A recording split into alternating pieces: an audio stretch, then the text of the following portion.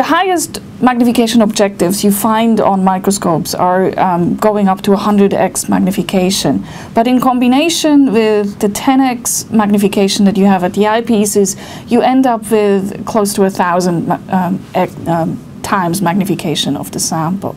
But of course now that we do this digitally, in addition you can blow it up on a screen or on a slide and project it and that increases the magnification another um, time. So you need to ask yourself, is there a limit to the resolution that you actually can display um, in this way? And this is where um, Ernst Abbe's theory of diffraction comes in again, because it is telling us um, what the resolution is in light microscopy. And Abbe's theory um, gave us this equation that everybody learns in physics um, that the resolution of the light microscope is determined by the wavelength of the light and it's um, inversely dependent on the numerical aperture of the imaging device. And the numerical aperture is the product of the refractive index of the medium that the light passes through um, and the sine of the angular aperture of the lens that you're using for your imaging. And there's a limit on how wide you can make that angular aperture for the lens, and that determines your resolution.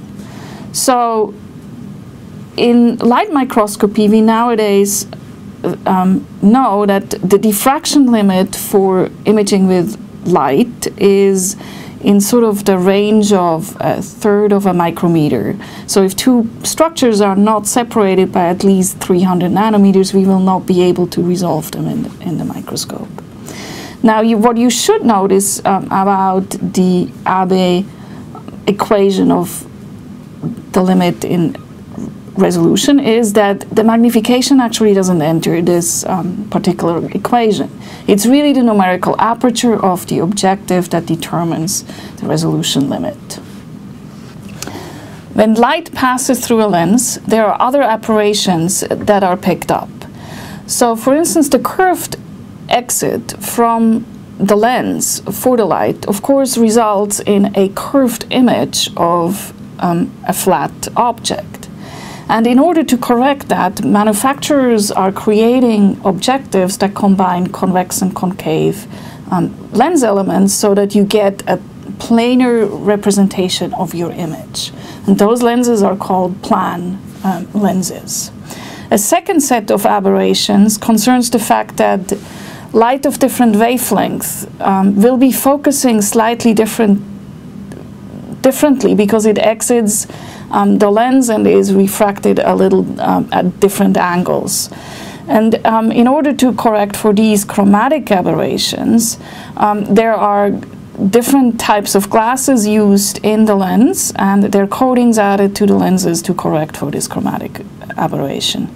And there's a third um, aberration that comes from the fact that light rays that are passing on the outside of the objective are again refracted slightly differently from light rays that are coming through the middle of the objective.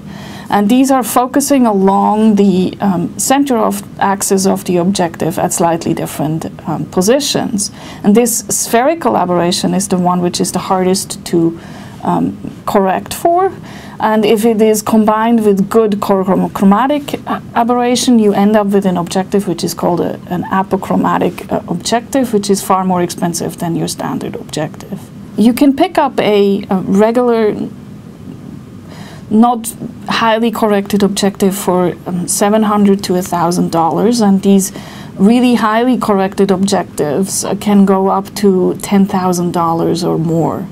Um, so usually, it, a properly equipped um, microscope actually carries most of its price tag in the objective to and it can be up to a third of the price of a, a nicely equipped microscope.